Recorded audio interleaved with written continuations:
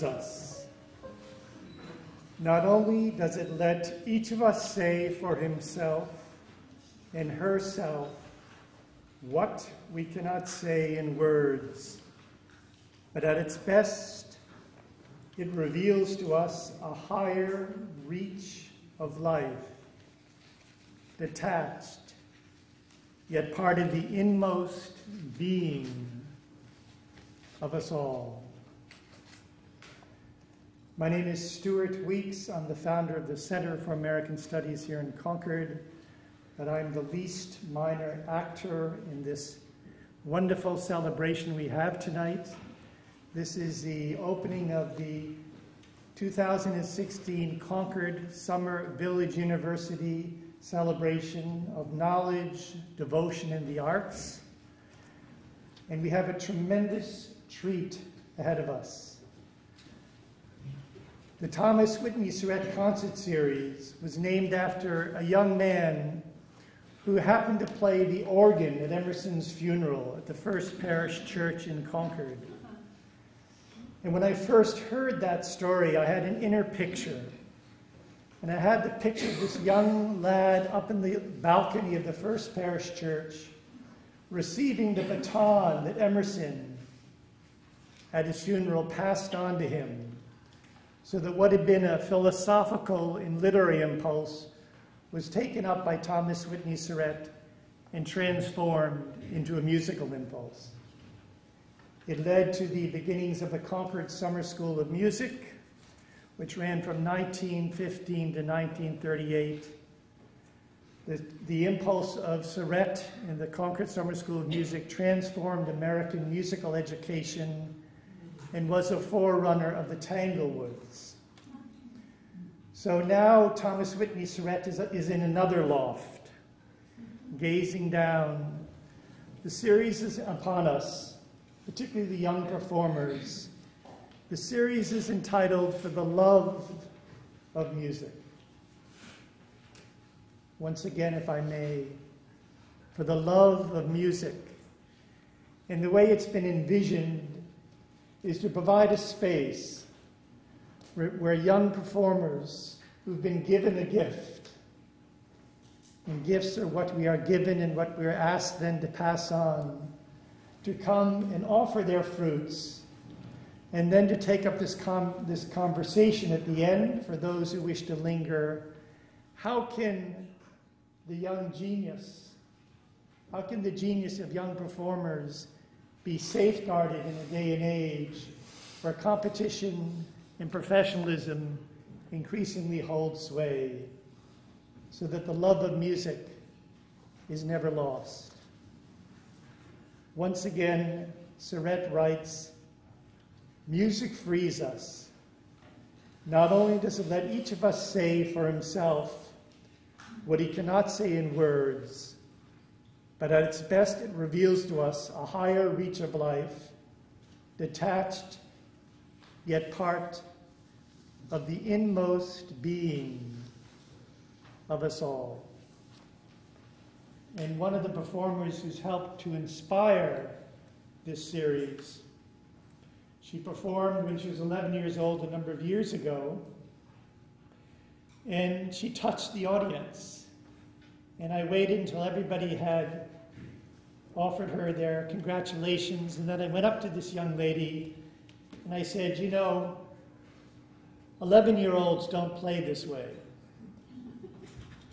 And she looked at me and she looked through me, as young people are sometimes want to do. And she said, Before I allow my fingers to touch the keyboard, as I recall, before I allow my fingers to touch the keyboard, I lift my soul to Beethoven and Bach. So I trust, along with Thomas Whitney Surette, that these great composers are with us as well as we carry forward this impulse of the love of music. Again, we'll sit to those who can linger at the end with the performers and talk about their work as young musicians. You have a program, as I said, we're in for a treat. I encourage you to take a moment to look at it, if not now, as we begin, but in the course of the next days. We have some very gifted musicians with us. The first is Jane Huang, who's going to be playing Liszt Etude number two, and from then the program carries on. So welcome.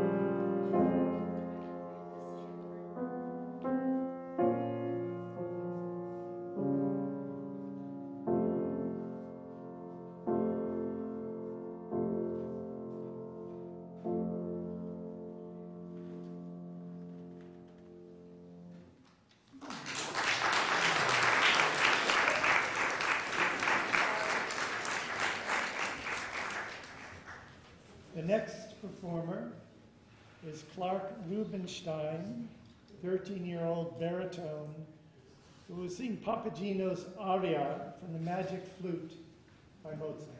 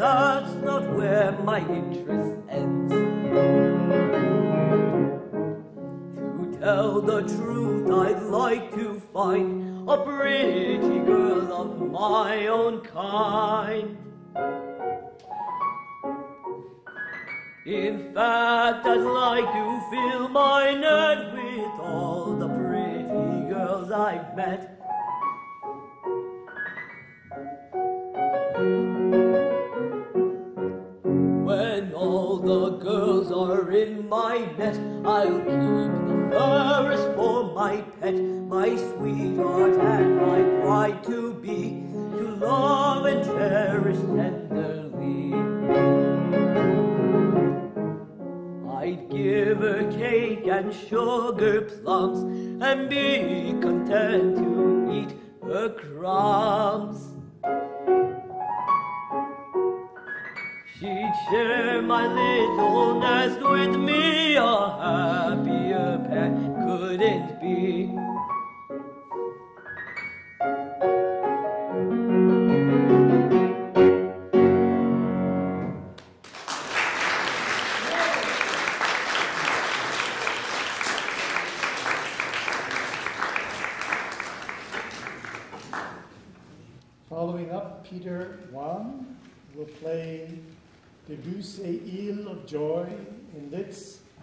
Transcendental Etude number 12.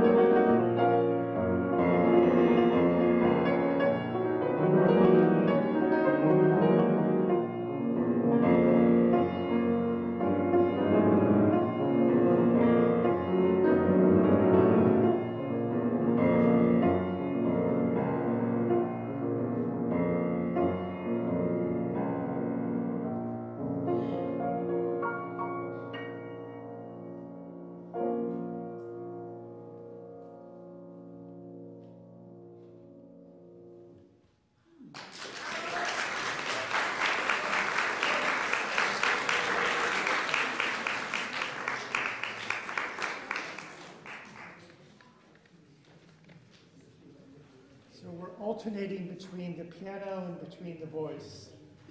The next performer is 11-year-old Sam Golub,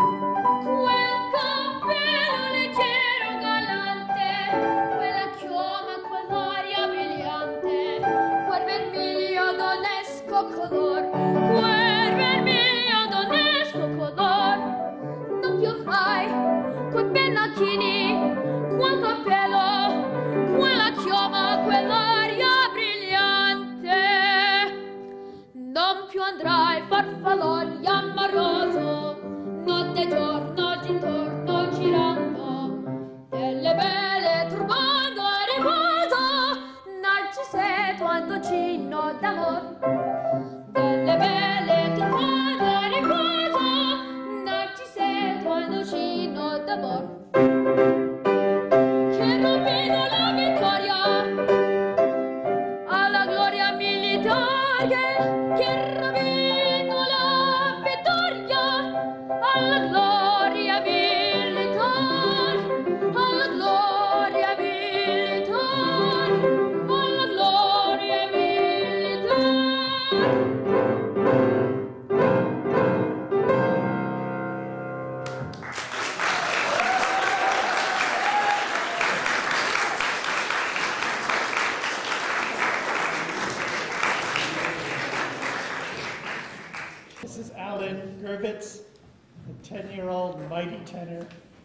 Thank you for joining us.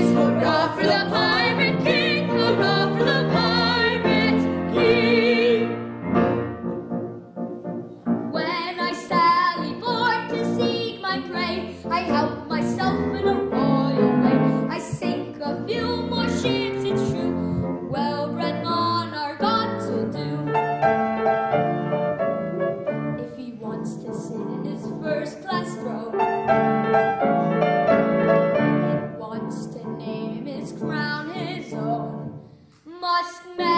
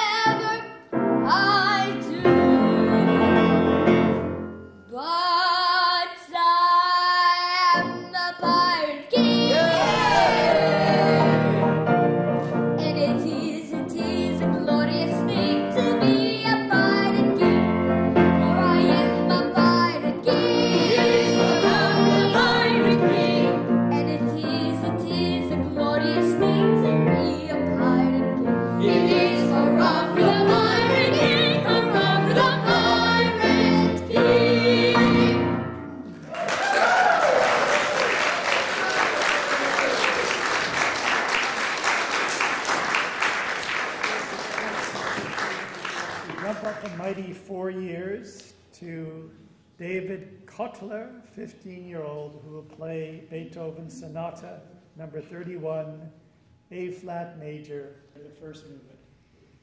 Welcome.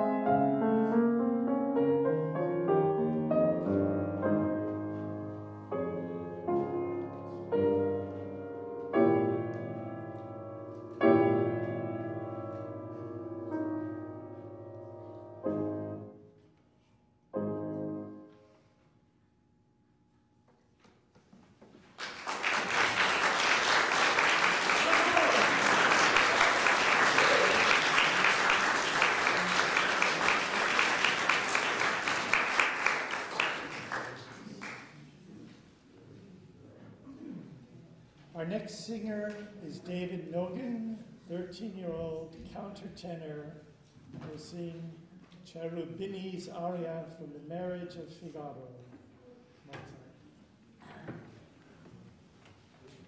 Mozart.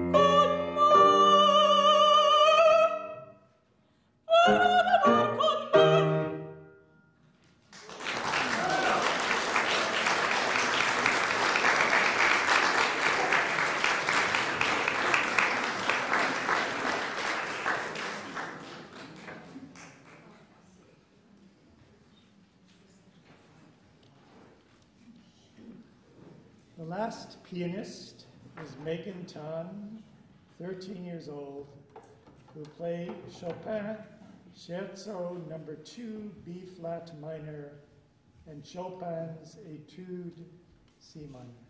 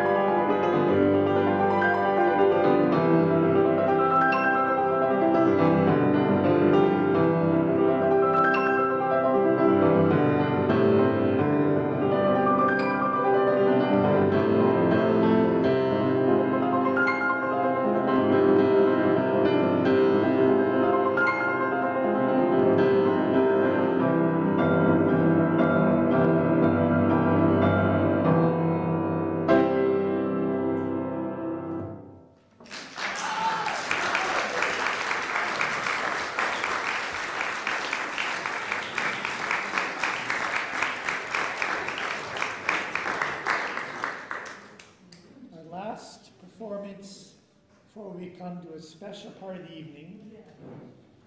And that is that these young musicians have given you all something. And after this last performance, this last piece, we'll invite the older folks to give something back to the students that has to do with the love of music. Our last performance is Sam Gullum and Alan Gervitz duet, O Sole Mio by Capua. Then Brandon Rubinstein joins the singers above with Funiculi, Funicula, by Denza.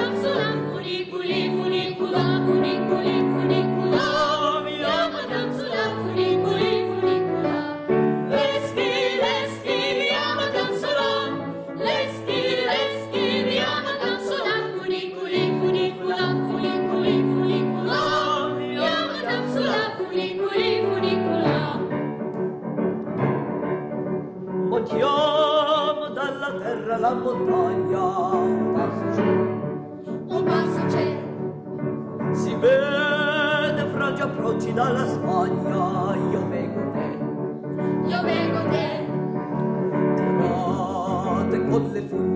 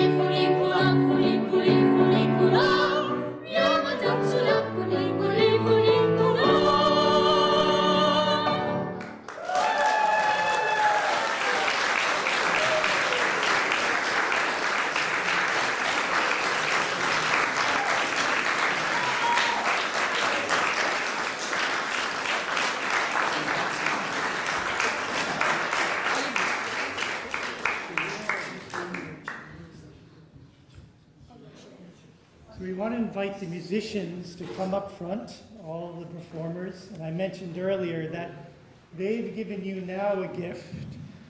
I'm going to ask them a question, and then we'll hear their responses to the question.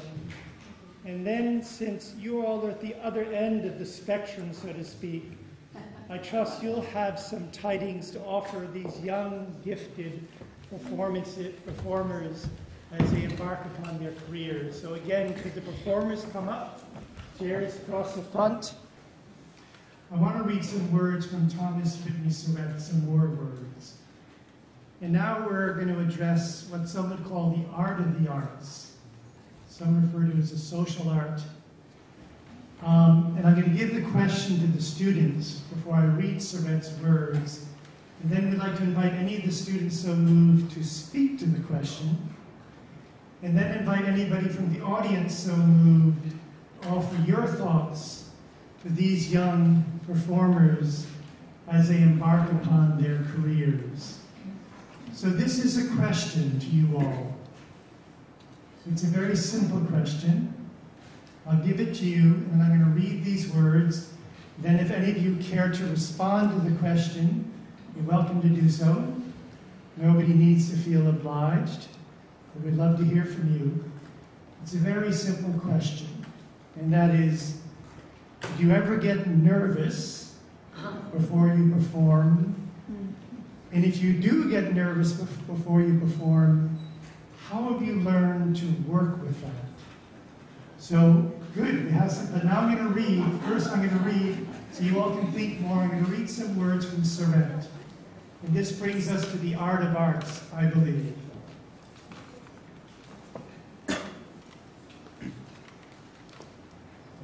The purpose of higher education, and for Surette that didn't just mean university, but higher education, is to unsettle the lives of young men and women. Try to get a realization of the significance of the life we otherwise must attain to, not just to see objects and events, William Blake says that our five senses, our five senses may shut us out from the world. It is not by looking that we see things, but by seeing. We must use the inner eye. Try to get a realization of yourself in relation to the world by seeing not only the object, could be an instrument, it could be a piece of music, it could be whatever it may be. But the significance, the deeper significance of the instrument, a piece of music, or whatever it may be. To do this, you must have imagination and insight and originality. Interpret the world for yourselves cultivate a seeing eye, a hearing ear, and be aware. Think for yourself, never through anyone else. Be yourself, yet keep within the laws of life. So we do have some hands that have gone up, some courageous spirits. I trust there'll be others. So we're going to allow the students to address this question. Do they ever feel nervous by chance before they perform? And if they do, how do they work with it? How do they work with it? And then, in response, we're going to invite you all, who again are on the other end of the spectrum. We have a 10 year old here. My dear dad is 93 soon on my right. To offer your best thoughts and wishes to these young students as they embark upon this on their careers. So a hand went up. Well, I used to get nervous back when I only started singing, but lately I just get excited because I know that I'm gonna make people smile, uh, make people feel emotions. So I just lately enjoy it all the way. I don't let nervousness get in the way of anything. started singing, I always felt ner- nervous since today. And I still go on for it because I'm excited to see you guys. And I want to see you guys. And um, I see the smiles on your face, like he said. And I, I just, it's very, it's very nice to see you all here. Wonderful words, and at the end, Uh, so it depends on what situation I'm in. If I'm in a competition, then I'll get much more nervous than um, than a recital, but I'm still pretty nervous. But after many years of performing, um, you, I got I got like a lot of experience, so I'm not as nervous as before, because I I know what to do and I'm going to give it to Megan in a moment, but one thing I learned, I never was a gifted musician, but I played some tennis. and one day I learned that the tennis game changes when instead of playing against the other, and in this sense, competing against the others, one played with the other person on the other side of the net. And I realized that I don't need to play against the other, but I play with them so that we're truly playing together, then my tennis game changed. So maybe that's a thought in competition with the other students that you're not competing against them, but you're together doing something very precious together. And Megan, So I'm a person who gets nervous really easily. And so when I go to perform, I just so basically performing is an art where you try to make people feel things, right? So I just concentrate on what I'm trying to convince you all of. And that helps me a lot. Others, I'd love to hear from each of you if you have something to say. Usually I get nervous because I'm scared that I'll make a mistake, because that's why everyone gets nervous, probably. So I like to replay the beginning of the piece over and over in my head so I know that how I'm supposed to play it, because usually it's the beginning that screws me up. So, So you've learned to make sure you have the right beginning. So you're starting right. Wonderful. Others, as a young man. Um, well, I usually do get nervous a lot, and like many of you said, once you get to perform a lot, it gets less tense every time you perform. And and if I do get nervous, like for a competition, I usually go in a quiet room and I just repeat what I need to sing over and over again until uh, it's just stuck in my head and I'm 100% sure they'll do well.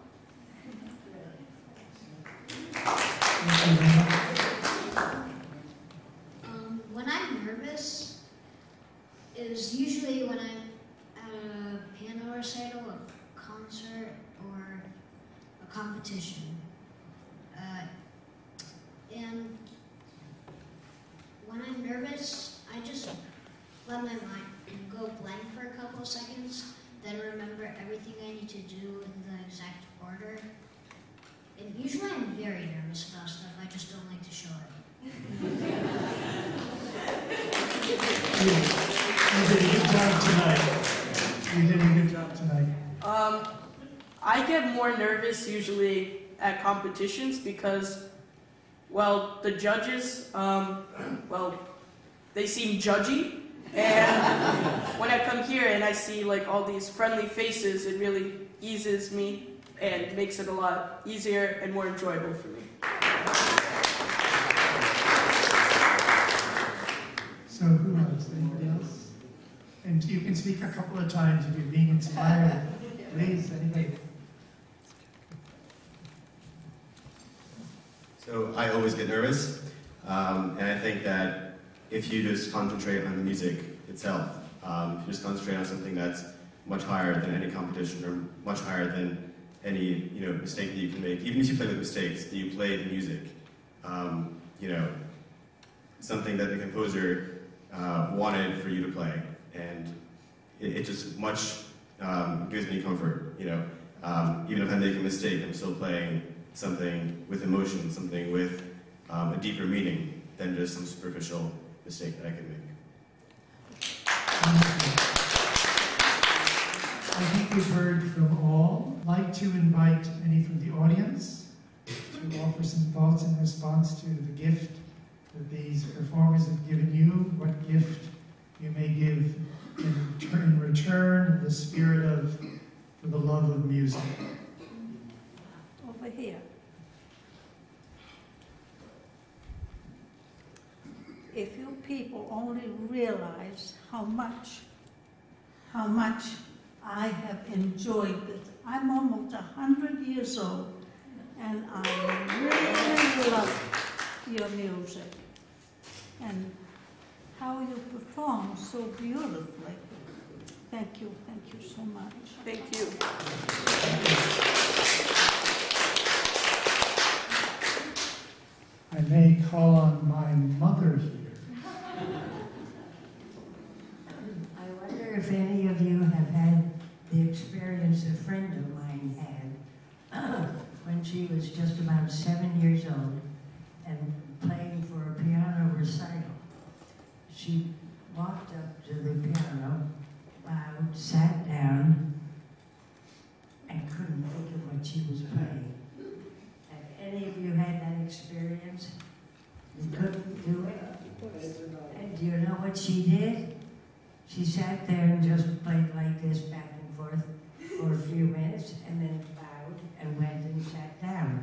Have any of you had that experience? So she didn't make any mistakes whatsoever. Because her heart was in it. She didn't even try. So we also have two very gifted teachers here as well who've um, helped prepare the students. Maybe we can hear from them, but any of the audience who would like to offer these young people some thoughts on their careers. Yes? Well, I would like, I was a piano teacher for, for many years, too, so I know a little bit of, of the experiences that you have and stage fright and, and all of that stuff. But what really impressed me about every single one of you was how you got into the, you really dug what you were doing. You dug, you really understood what the composer, composer was trying to say, and you passed it on to us with, with real courage and understanding and technique, I gotta say. It was all wonderful from every single one of you. We're so grateful to you. Thank you.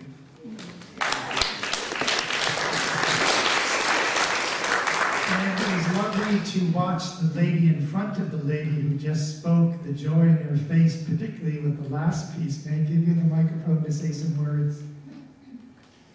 I think you're all absolutely wonderful. And you're beginning, just beginning of your life and all the many things you're going to do and say. And thank, thank you very much for doing such a beautiful job for all of us. It's a joy.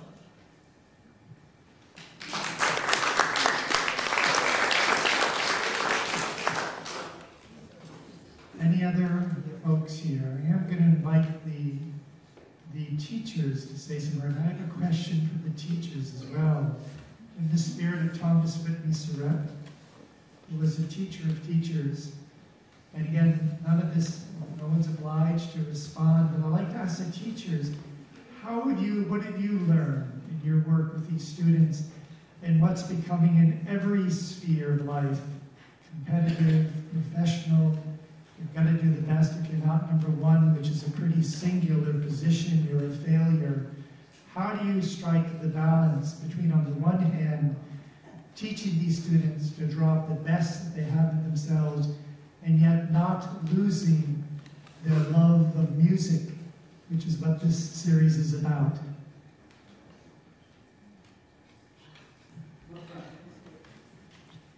First of all, I would like to congratulate every today, every performer. Uh, you did an amazing job. Thank you very much. I teach and I learn, as you said, from my students. And the more I learn from them, uh, the more I know about what I'm doing, what I'm teaching. So this is a process which is going like a spiral uh, and back and forth. So we learn from each other every day and about the how they will survive in this life or they will have to compete or they don't have to compete, they, they will decide it for themselves. But personally, I'm always saying, if you even go to competition, don't try to compete with others, just to do the best you can, and compete with yourself, and each time try to do better. Than, and about the your nervousness, just as you said, it's very true. If you concentrate, and if you really know what to do, and you have a goal, and exactly you, even when you're performing, you're working on something. You have, uh, for example, when you sing, you have to remember the movement you're doing. It's not spontaneous. It should be programmed movement. It should be something you learned with the singing. Uh, and with, uh, I'm sure with, as a pianist also, say you you have to uh, also realize this is the which part you're playing, this exposition, uh, development, the ending, each theme, how it's working together. So if you into it, actually you won't be nervous. So uh, I had my diploma, my first diploma piano, I had the piano, and I played the ballad second by Chopin, and I played for six notes and just stopped. I forgot. so I started again. It was fine. It was actually better. The six notes were better than previous. So, um, so I, I know your pain, guys. And again, um, that's, that's it what I'd like to say. Just uh, good luck and hope, guys, uh, the new people that I, I just met today, Uh, I hope to see you again, perform together, maybe in the future.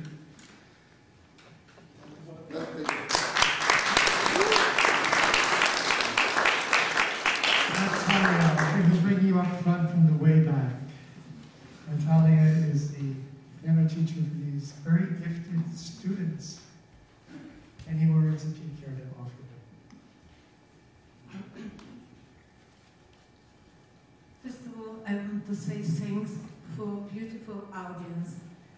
Uh, it's very good organized and very good audience, and it was very my students and other students, I think, were very happy to play here. No, and Alexander already said everything. I just want to wish good luck for everybody and continue what they're doing. Thank you.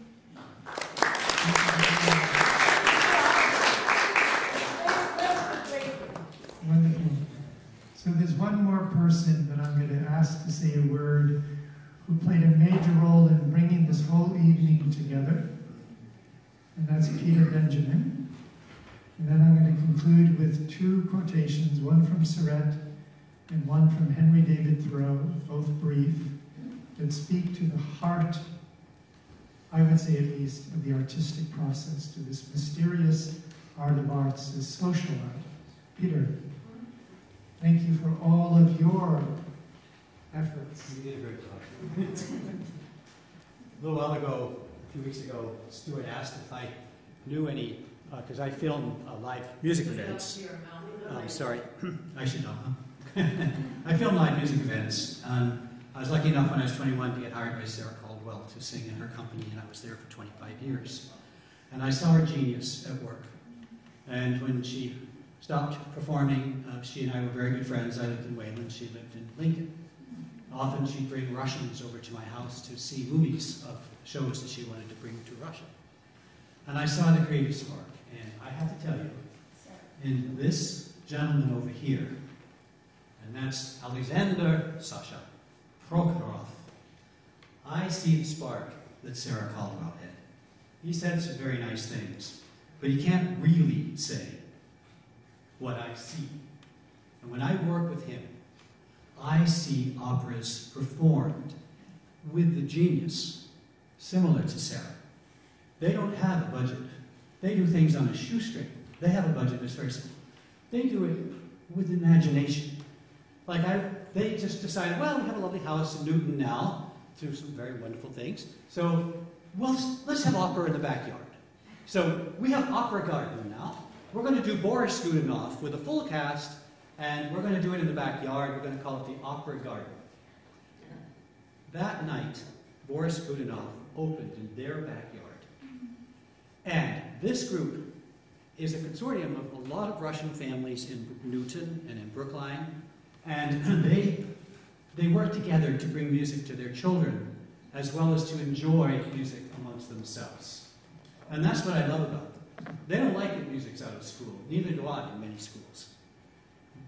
Would Donald Trump be Donald Trump if he was in an orchestra once in his life? I wonder. That would be about cooperation, not competition. So. But I'll just be brief and say, if I can, I see things that these people do. And then two weeks later, they're doing another show. And then three weeks later, they're doing another show. They did a full, uh, well, a little bit scaled down, um, Mozart's Magic Flute with children. And they did two casts. So in one day, they had about 80 costumes, 80, uh, 40 kids. It was uh, some played in both shows. A 5 o'clock show and an 8 o'clock show. With scenery. At this beautiful uh, Center Makor in Brookline, right on Com Ave. With a full symphony orchestra. And these kids, like you saw today, are doing things you don't expect little kids to do. And they really love it. They really love it. This consortium of Russian families is an absolute joy. Go to Commonwealth Lyric Theater, T-H-E-A-T-E-R, dot com. And you will see the videos of their past productions. Some with the kids, some with the adult productions. The Boris Godunov, they just had one of the best bassists from Russia come over to play Boris. What an incredible role. And little, uh, um, uh, what's it, Sam Golub and David here, they played the Tsar's son. And that death scene when the Tsar dies at the end with his bass voice and the bells clanging was one of the most dramatic things I've seen in a long time, done on a shoestring. Oh, by the way, they, they took the show over to Newton City Hall, too, as part of Arts Newton, and they did it with a full orchestra inside. They had two outdoor, two indoor. But these kids playing the Tsarevich, how do you say it? What's the word? Tsarevich or something like that. Yeah. When the Tsar dies, the son is to take the throne, but not in this case. The Tsar is not liked. The boyars, which are the cabinet, don't want his son as Tsar. And as soon as he dies and the little boy takes the throne, all of a sudden the boyars just get up and form a circle right around him like this. What great staging!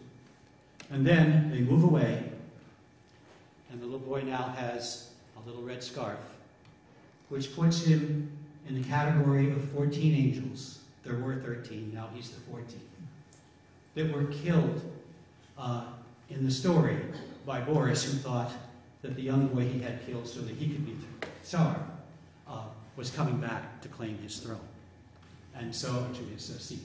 So the way they staged it, with just so little in terms of money, but with imagination. I go over to his backyard and I see, where did you get all these bells? Where did you get all these bells? Oh, Bill, Peter, they're flower pots. They're painted upside down. They're bells. I, couldn't believe it. Enough said. Um, CommonwealthLyricTheater.com. Check the videos. You will, the ones that they do with kids, the ones that they do with their adult company. You won't believe it. You just won't believe it. Thank you. And they are terrific. And so was, so was Natalia, who I had before. Her students, amazing.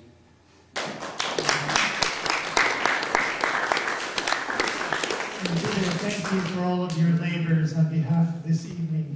So friends, we conclude with two short quotations. And I want to direct it above all to you all. The first is from Thoreau. Some of you may have heard of Walden Pond. He wrote a book called Walden. He was a Concordian. He said, Every man is a builder of a temple called his body. To the gods we worship after a style purely our own, nor can we get off by hammering marble, painting a picture, playing a piano, whatever it may be, nor can we get off by hammering marble instead. We, all, we are all painters and sculptors, and our material is our own flesh and blood and bones. And now, in honor of the audience, I want to read the last quote by Thomas Whitney Surette. Perhaps the annual Thomas Whitney Surette Concert Series can find a home here at Newbury Court to bring together the youth and the aged, the older, my apologies. Um, but in that spirit, Surette writes, Nothing ever dies. What we call death is only a transformation from one form of life to another. All the music that ever was still sounds. All that music that is still to be slumbered, that is still to be slumbers. Life and death are one. And in the truest sense, the whole universe is a song. Once again, if I may, to conclude the evening, nothing ever dies. What we call death is only a transformation from one form of life to another. All the music that ever was still sounds all the music that is to be still slumbers. Life and death are one. And in the truest sense, the whole universe is a song.